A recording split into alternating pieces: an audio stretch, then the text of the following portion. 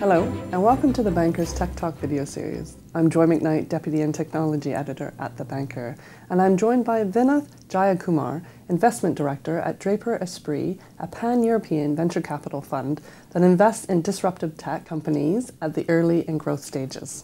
Vinoth, thanks so much for joining us today. Thank you for having me here, Joy. So, can we talk a little bit about Draper Esprit because it really has a different kind of VC model? Can you explain how that works? Certainly. So traditionally, venture capital funds are set up as 10-year funds, mm. uh, and it's called the 5 plus 5 model, where the first five years are, you're investing, second five years you're harvesting. And what we've found is that in that model, there are some limitations. For example, you come up against year 8, 9, or 10, and you're sort of under pressure to create exits mm. because you need to show return to raise the next fund. So what that does is it creates a suboptimal outcome for the entrepreneur and for the fund. And so we started exploring what might be a way out of that model. And so we took the unusual step of actually IPOing ourselves. Mm. So we listed on the AIM and the Irish equivalent of the AIM, mm. and as a result of that, we shifted towards what is a what is now known as a patient capital fund or an evergreen structure. Okay. And off the back of that, we're investing on balance sheet.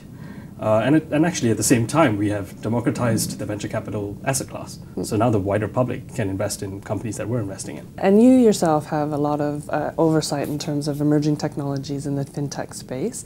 Uh, what would you say are the trends happening there?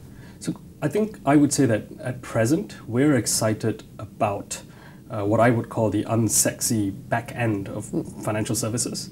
And those are areas such as in fraud, whether that might be payments fraud or identity fraud.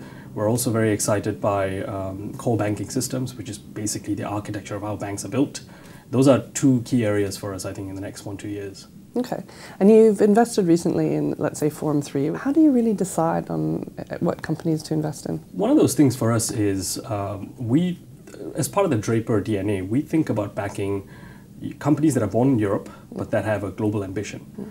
And we're also slightly later stage investors. Mm. That means we're investing anywhere between 5 and 25 million pounds uh, in a Series A and B plus type company. And that means the company is probably revenue generating mm. and it's on the cusp of scaling. And so Form 3 is an example of a company that's right smack in the middle of that. And my next question is how do you find these companies? So, holistically, mm. uh, as, as a Draper firm, uh, we attract certain types of entrepreneurs to us. Uh, and that's driven by, by the, the, halo effect of, of the Draper brand. And it's also driven by the types of investments we've made in the past mm. to show a legacy of the type of thinking that we have.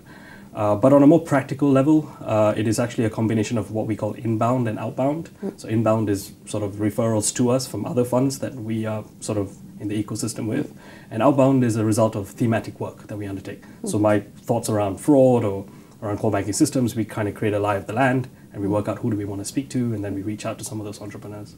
Okay. And my last question is what's on everybody's lips at the moment, Brexit. You know, do you think that that's going to have an impact on funding for startups?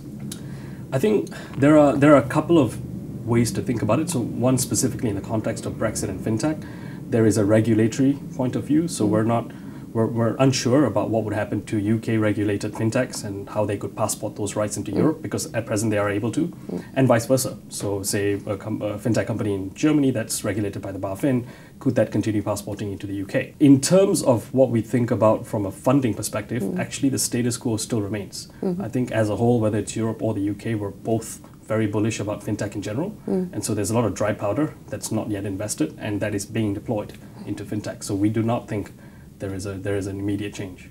Okay, great. Thank you so much for your insights, Vinoth. Thank you, Joy.